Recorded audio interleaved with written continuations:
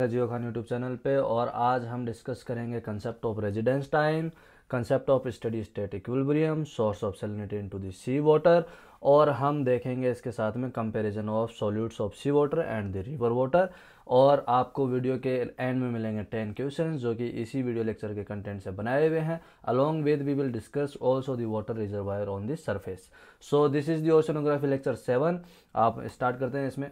देखो, जो source of salinity in sea water majorly एक ब्रॉडर सेंस में बात करें तो जो सोर्स ऑफ़ सी वाटर है, वो है source of salt in sea water that is your river river क्या करती है, आपकी वेराइटी ऑफ़ डिजोल्व सॉल्ट्स लेके आती है, जिसकी कंसंट्रेशन पार्ट्स पर मिलियन में होती है। पार्ट्स पर मिलियन का मतलब समझ गए होंगे।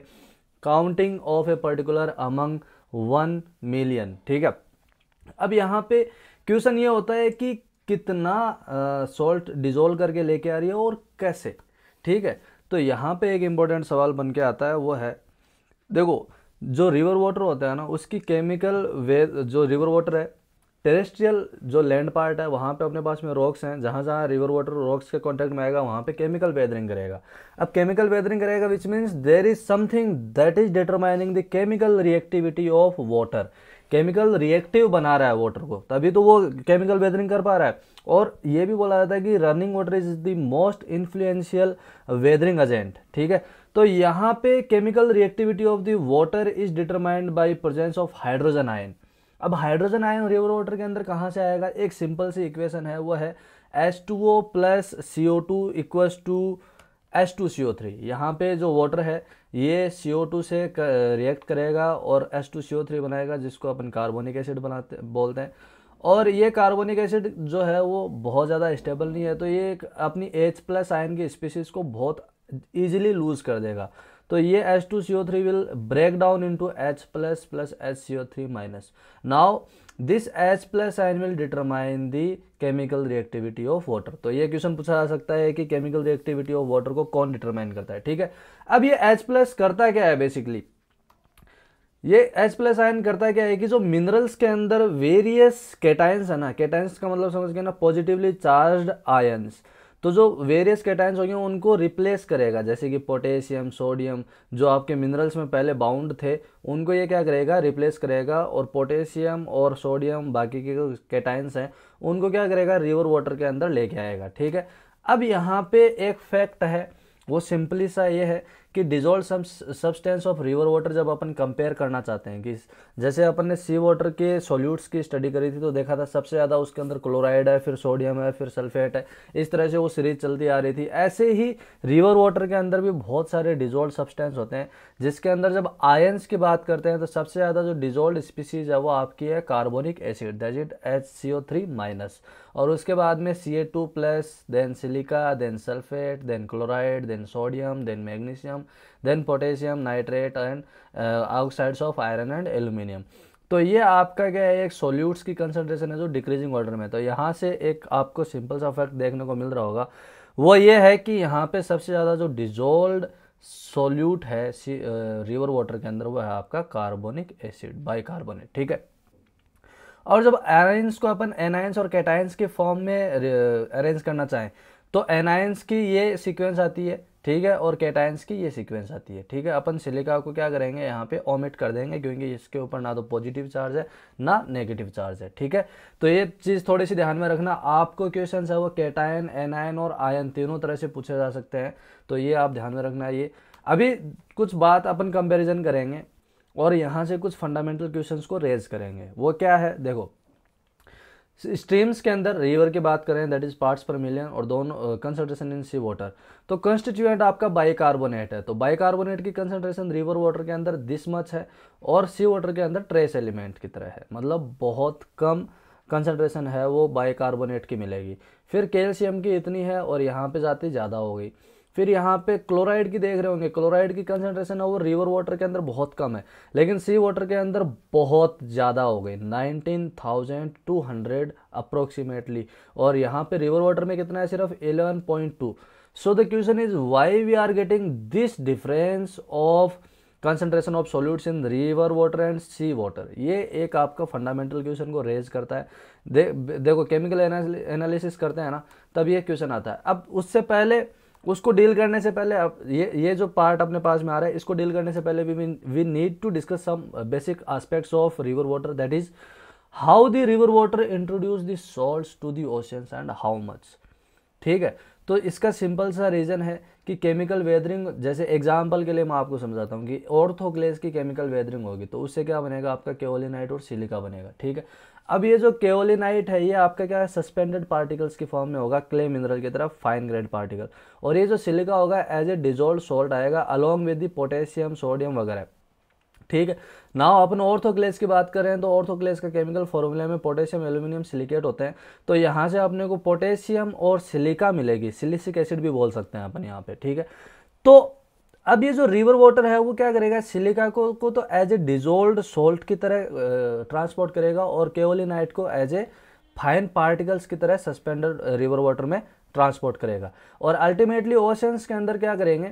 सिलिसिक एसिड पोटेशियम सोडियम वगैरह जो हैं, उनको ये क्या करेगा? डिजोल्ड सोल्यूट्स की फॉर्म में इंट्रोड्यूस करेगा ओशंस के अंदर और केओलिनाइट वगैरह है, इसको क्या करेगा? ये क्ले मिनरल की तरह इंट्रोड्यूस करेगा। तो ये सिलिका जो होगी या सिलिसिक एसिड या पोटेशियम जो कैटाइंस हैं, वो तो as a dissolve substance introduce होंगे और जो क्ले मिनरल बिन रहा है यह आपको as a fine sediment introduce होंगे। तो ये ओशनिक वाटर के अंदर जाकर के कैसे करेंगे? Dissolve potassium and silica contributes to the sea water salinity ठीक है, क्योंकि डिजोल्व सब्सटेंस की तरह जा रहा है तो वो सेलिनिटी में कंट्रीब्यूट करेगा। और सस्पेंडेड पार्टिकल्स हैं, वो ओशन फ्लोर पे एज ए मड डिपॉजिट हो जाएगा। मड क्या होता है? Clay and silt size particles का एक मिक्सचर होता है। Clay and silt size particles क्या होती हैं? ये आप मेरे को कमेंट बॉक्स में बता देना, ठीक है? चलिए, यहाँ पे मैं क्यों बोल रहा हूँ कि this fine suspended particles deposited as a mud on this sea bottom and the dissolve potassium and silica contributes to the sea water salinity क्योंकि जब सेलिनिटी अपन डिस्कस कर रहे थे, वहाँ पे मैंने आपको बताया था कि जब सेलिनिटी कैलकुलेट करेंगे तो organic compounds and the fine particles which are suspended in oceanic water are excluded उनको अपन इंक्लूड नहीं करते हैं वाइल दी कैलकुलेशन ऑफ़ और डिटर्मिनेशन ऑफ़ सेलिनिटी ठीक है? तो यहाँ पे जो डिजोल्व सब्सटेंस है, वही क्या करेंगे? सेलिनिटी में कंट्रीब्यूट करेंगे। अब सवाल ये उठता है कि जैसे ये पहले एक इक्वेशन देख लो कि ये टू के एल एस आई थ्री है यहाँ से रिएक्शन हुई पोटेशियम आयन है वो, यहाँ से जनरेट हुए।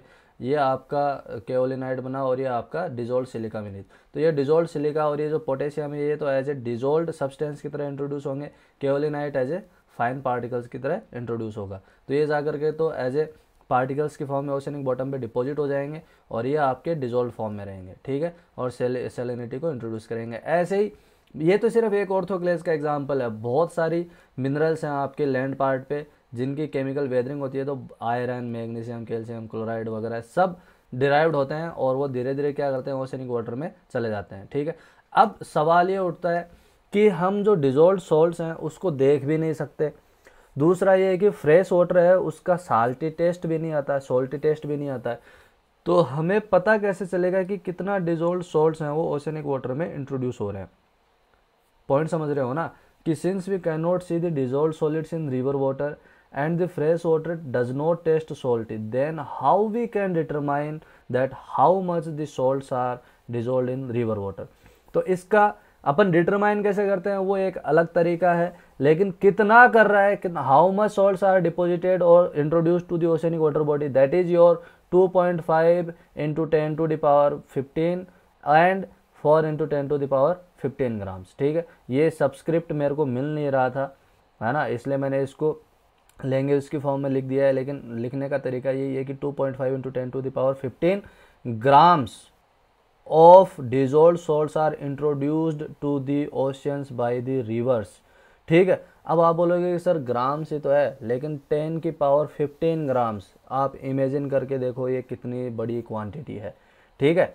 सो सोलेली अपन कह सकते हैं एक नट सेल में कि सी वाटर सेलिनिटी का जो मेजर सोर्स है वो आपका क्या है?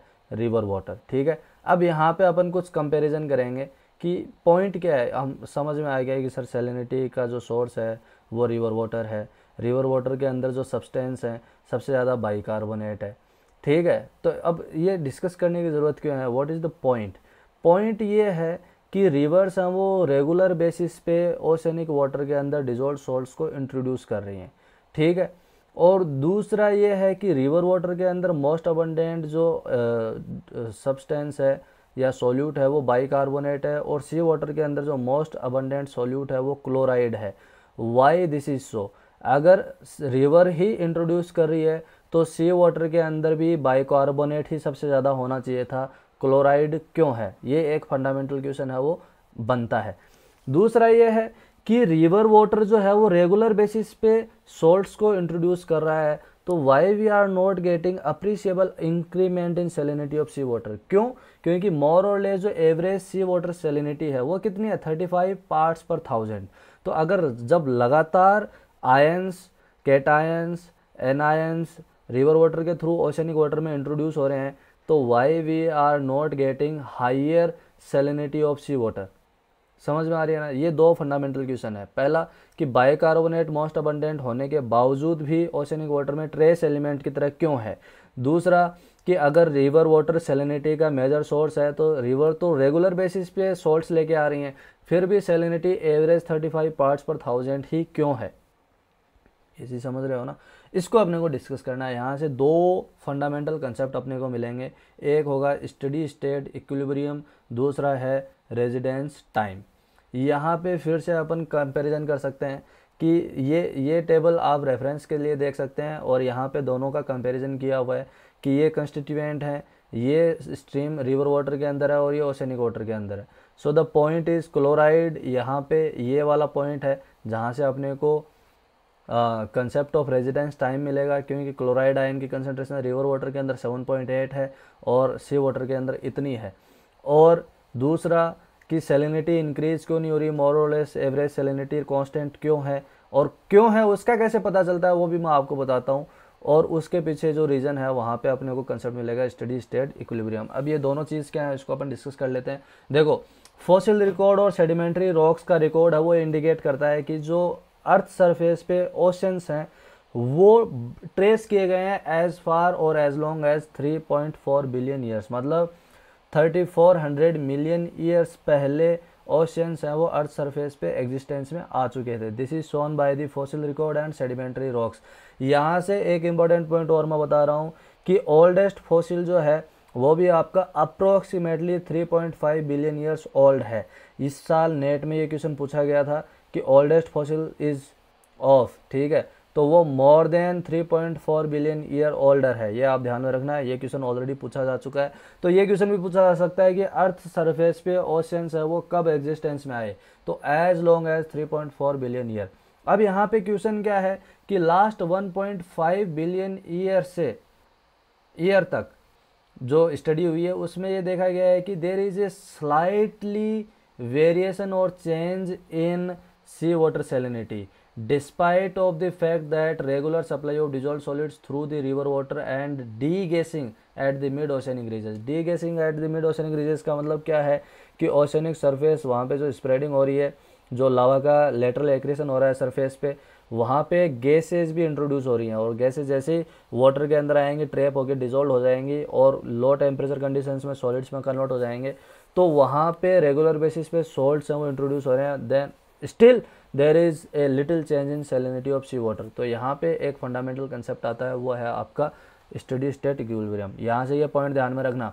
कि ओल्डेस्ट फॉसिल भी है वो भी आपका क्या है अप्रोक्सीमेटली 3.5 बिलियन ईयर के आसपास है। और जो ओशनिक वाटर है, वो अर्थ सरफेस पे कब आया था? As long as 3.4 billion year ago ठीक है तो इसको थोड़ा सा ध्यान में रखना। अब स्टडी स्टेट इक्विलिब्रियम क्या बोलती है?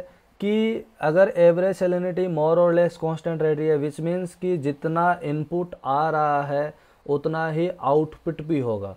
मतलब the input of the dissolved salts may be equal to the output of the salts which in form of evaporation और प्रसिपिटेशन कुछ भी तरह से हो सकता है, उसको भी अपन डिस्कस करेंगे। लेकिन यहाँ पे क्वेश्चन ये है कि इनपुट और आउटपुट के बीच में कोई बैलेंस ज़रूर होना चाहिए, ठीक है? That's why we are getting more और लेस कॉन्स्टेंट एवरेज सेलिनिटी ठीक है? देखो the balance between input and output of the salts to the ocean is called the steady state equilibrium ये तो सिंपल सा इसका डेफिनेशन है, ठीक है? दूसरा अपन बोलते हैं कि ओशनिक वाटर के अंदर जो इनपुट आ रहा है ना, उसको अपन सोर्स बोलते हैं। और जो आउटपुट जा रहा है, उसको अपन सिंक बोलेंगे। तो अब अपन इनपुट और आउटपुट की टर्म्स में बात नहीं करके सोर्स और सिंक की टर्म्स में बात करेंगे। Source means input of the material and sink means removal of the material which means कि स्टडी स्टेट इक्विलिब्रियम का कंसेप्ट ये बोलता है कि rate of source is approximately equal to the rate of sink ठीक है? समझ में आ गया? अब यहाँ पे सोर्स मटेरियल जो है वो कहाँ से आ रहा होगा? रिवर वाटर के थ्रू आ रहा है वॉल्केनिक एक्टिविटीज़ जो हो रही है मेडोसेनिक रिजोर्स सबडक्शन जोन पे उसके थ्रू आ रहा है। और आपका जो सिंक है, वो कैसे हो रहा होगा? इवोपरेशन से हो रहा है इवोपरेशन से सॉल्ट कंटेंट रिमूव नहीं होता है। लेकिन क्या होगा कि जैसे जैसे वाटर कंटेंट रिमूव होता चला जाएगा तो वैसे वैसे जो रिमेनिंग पार्सन पोर्सन रहेगा, वो क्या होगा? इनरिच होता चला जाएगा डिजोल्व सॉल्ट्स में। और एक टाइम ऐसे आएगा कि सेचुरेशन जो पॉइंट है, उसको एक्सेड कर जाएगा सुपर सेचुरेशन होगा परसिपिटेशन हो जाएगा। तो आपका सॉल्ट कंटेंट है, वो रिमूव हो जाएगा, ठीक है? दूसरा जियोकेमिकल बायोकेमिकल एक्टिविटीज़ होती हैं। कैसे? जैसे अब जो क्ले मिनरल्स हैं, वो डिपॉजिट हो रहे हैं तो वहाँ पे क्या होंगे? जो इंटरस्टेशल जो स्पेस रह रहा है, वहाँ पे क्या होंगे? अब्जॉर्प्शन ऑफ़ द कैटाइंस हो जाता है पोटेशियम सोडियम मैग्नीशियम आयरन वगैरह का। और उसके बाद में जो आपके डाइटम्स और फोरामिनिफेरा हैं, वो आपके सिलिकॉन एंड कैल्शियम को अपटेक करते हैं, रहते हैं कांस्टेंट बेसिस पे। इसके अलावा एओप्राइट प्रोसेस और प्रोसिपिटेशन की वजह से आपका डिजोल्व सोल्स है, वो भी रिमूव होता रहता है, जैसे आपका हेलाइट है जिप्सम है केलसाइट है, ये परसिपिटेट होकर के रिमूव होते रहते हैं which means the rate of source is approximately rate of in sink that is called steady state equilibrium और इस स्टडी स्टेट इक्विलिब्रियम की वजह से ही ओसेनिक वाटर की सेलिनिटी है, वो मोर और लेस कांस्टेंट रह रही है और 1.5 बिलियन ईयर के टाइम पीरियड में बहुत कम चेंज आया है, ठीक है? यहाँ पे ध्यान में रखना है इस बात को। अब एक छोटी सी बात और निकल के आती है। कि ये ये पूरा का पूरा एक टेबल बनाई हुई है वीडियो पॉज करके आप लिख भी सकते हैं इसको। जैसे केमिकल कंपोनेंट क्लोराइड है तो क्लोराइड का सोर्स कौन है? सोडियम है तो इसका सोर्स कौन है? पोटेशियम का सोर्स कौन है? कैल्शियम सिलिका फॉस्फोरस वगैरह के सोर्स कौन है? तो आपके क्लोराइड का जो मेजर सोर्स है वो आपके वॉल्केनोज है और दूसरा जो मेजर सोर्स है वो आपका रिवर इनफ्लक्स दूसरा सोडियम का जो मेजर सोर्स है वो रिवर इनफ्लक्स है। पोटेशियम का भी रिवर इनफ्लक्स है। और ये सिंक्स कैसे होते हैं? जैसे क्लोराइड हुआ है, वो सिंक कैसे हो रहा है? इवोप्राइड डिपोजिशन एज एन और रॉक सॉल्ट भी बोलते हैं इसको। और नेट एयर ट्रांसफ़र से भी होता है और पोर वाटर बरियल से भी होता है। तो ये आपके यहाँ से ऑब्जेक्टिव टाइप के क्वेश्चन बहुत अच्छे फ्रेम होते हैं और बहुत अच्छे फ्रेम किए भी जा चुके हैं। तो इसको आप थोड़ा सा ध्यान में रखना।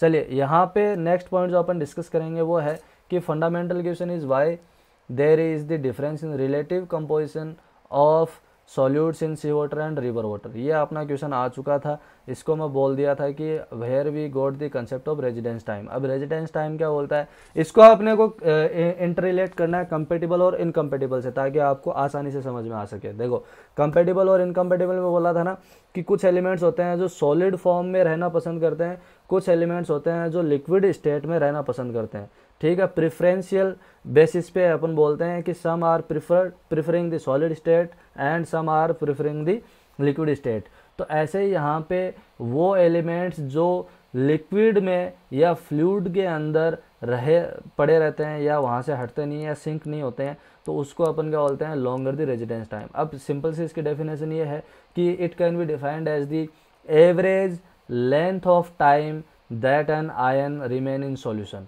ठीक है तो सॉल्यूशन में कितने टाइम तक बना रहेगा या कितने टाइम तक वो वहीं पे पड़ा रहेगा, उसको अपन क्या बोलते हैं उसका रेजिडेंस टाइम अब रेजिडेंस टाइम के बेसिस पे बहुत अच्छे अच्छे क्वेश्चन आते हैं, बहुत अच्छे अच्छे न्यूमेरिकल भी आते हैं, उसको अपन डिस्कस करेंगे जब इसके क्वेश्चन सॉल्व करेंगे, ठीक है? यहाँ पे कुछ सॉल्यूट्स हैं, कुछ आपके आयंस हैं जिनका रेजिडेंस टाइम दिया हुआ है। यहाँ पे क्लोराइड का जो अप्रोक्सीमेटली रेजिडेंस टाइम है वो इनफाइनाइट है अप्रोक्सीमेटली इनफाइनाइट है। दो रिवर वाटर के अंदर क्लोराइड की कंसनट्रेशन वो बहुत कम होती है। फिर भी ओशनिक वाटर के अंदर ये क्लोराइड है, वो अप्रोक्सीमेटली सबसे ज़्यादा है। मतलब अप्रोक्सीमेटली क्या? कि ये तो वेल इस्टेब्लिश्ड फैक्ट है कि सबसे ज़्यादा जो सोल्यूट है, उस, जिसकी कंसनट्रेशन है वो आपके क्लोराइड ही है। है ना? ऐसा है क्यों? क्योंकि इसका जो रेजिडेंस टाइम वो अप्रोक्सीमेटली इनफाइनाइट है, ठीक है? तो जैसे जैसे रिवर वाटर से क्लोराइड इंट्रोड्यूस होता चला जाएगा सिंकिंग होएगी नहीं, जल्दी से सिंकिंग जल्दी से होगी नहीं तो रिलेटिवली क्लोराइड की कंसनट्रेशन वो बढ़ती चली जाएगी। आई होप कि आपको पॉइंट है, वो समझ में आ रहा हो। ये सिक्वेंस आपको याद होनी चाहिए कि सबसे ज़्यादा रेजिडेंस टाइम सी वाटर के अंदर क्लोराइड का है, फिर सोडियम का है देन लिथियम फिर स्ट्रोनशियम फिर पोटेशियम कैल्शियम जिंक वगैरह वगैरह, ये सारे आपको थोड़ा सा याद कर लेना है। ठीक है? रिवर वाटर के अंदर जो डिजोल्व सॉल्ट्स हैं, इसकी भी आपको सीक्वेंस याद होनी चाहिए। यहाँ दोनों ही पॉइंट से क्वेश्चन पूछे जाते हैं, ठीक है? तो ये थोड़ा सा ध्यान में रखना। अब रेजिडेंस टाइम से अपने को फ़ायदा क्या होता है? प्रिंसिपल ऑफ़ कांस्टेंट प्रोपोर्शन मैंने डिस्कस किया था। यहाँ पे एन और लगेगा कि प्रिंसिपल ऑफ़ कांस्टेंट प्रोपोर्शन मैंने बताया था। कि जो मेजर कंस्टिट्यूएंट हैं, उनका जो रेशियो है, वो कांस्टेंट रहता है irrespective of location and irrespective of salinity जैसे सोडियम और पोटेशियम रेशियो लेंगे क्लोराइड ओवर सल्फेट रेशियो लेंगे तो वो अप्रोक्सीमेटली हमेशा एक जैसा ही आएगा। इसको अपन बोलते हैं constant principle of constant proportion और ये किस बेसिस पे अपन एक्सप्लेन करते हैं? On the basis of residence time और दूसरा ये है कि रैपिड कूलिंग होती रहती है। अब कूलिंग होने के कई सारे तरीके हैं, उसको अपन डिस्कस करेंगे. Sea surface circulation surface circulation and sub surface circulation में डिस्कस करेंगे कि how the mixing process are taking place in the oceans तो यहाँ पे रेजिडेंस टाइम ज़्यादा होना और रैपिड कूलिंग होने की वजह से जो सॉल्ट्स uh, का डिस्ट्रीब्यूशन है वो थ्रू आउट दी ओशन है वो यूनिफॉर्म रहता है। तो अगर आपसे क्वेश्चन पूछा जाए कि why we are getting uniformly distributed salts throughout the oceanic water so दो रीज़न है उसके पीछे। One is rapid cooling and second one is the long residence time of the solutes ठीक है? तो ये आपका मेन मेन है। इसके अलावा अपन वाटर रिजर्वायर डिस्कस करेंगे। वाटर रिजर्वायर में अपन क्या बोलते हैं कि नदन हेमिस्फीयर में जो वाटर कवर है वो 60 परसेंट के आसपास है और सदर्न हेमिस्फीयर में 80 परसेंट के आसपास है, ठीक है? और ओशंस के अंदर जो वाटर है वो 97.25 परसेंट है। यहाँ पे ये थोड़ी सी मिस्टेक हुई है। ये 907 नहीं है 97.25 है, ठीक है? तो ये थोड़ा सा देख लेना। और वॉल्यूम के टर्म्स में ओशनिक वाटर के अंदर जो टोटल वॉल्यूम ऑफ़ वाटर है, उसका 97.25 percent that is concentrated to the oceans और इसके अलावा जो वाटर है, वो फ्रेश वाटर रिजर्वायर्स है। और फ्रेश वाटर रिजर्वायर्स में भी सबसे ज़्यादा वाटर किसका है? आइस मासेस का है, उसके बाद में ग्राउंड वाटर का है, उसके बाद में लेक्स है, उसके बाद में एटमोसफियर है, उसके बाद में रिवर है, उसके अंदर बायोस्फीयर है। और ग्राउंड अंडर ग्राउंड वाटर के अंदर जो टोटल वाटर है वो आपका रिवर लेक्स एटमोसफियर को मिलाने के बाद भी ज़्यादा होता है, ठीक है? इसको मैं थोड़ा सा एडजस्ट करता हूँ एक सेकंड यहाँ पे देख रहे होंगे, ठीक है? तो volume of ground water is greater than the water in lakes plus river plus atmosphere तो ये कुछ मोटा मोटी सा कंसेप्ट है। यहाँ पे डेटा भी दिया हुआ है कि वर्ल्ड ओशन का 97.2 परसेंट है। ग्लेशियर्स के अंदर 2.15 परसेंट है, बाकी का ये इसको पढ़ लेना, देख लेना थोड़ा सा ठीक है? और ये क्वेश्चन यूपीएससी के कंबाइंड जो साइंटिस्ट एग्जामिनेशन की प्रीलिम्स एग्ज़ाम में भी आया था और शायद हाइड्रोलॉजी के एग्ज़ाम में भी आया हाइड्रोलॉजिस्ट के एग्ज़ाम में भी आया था, ठीक है? तो यहाँ से क्वेश्चन है वो आते हैं कम से कम कम से कम नेट के एग्ज़ाम में आज के लेक्चर से दो क्वेश्चन आपको मिलेंगे मिलेंगे, ठीक है?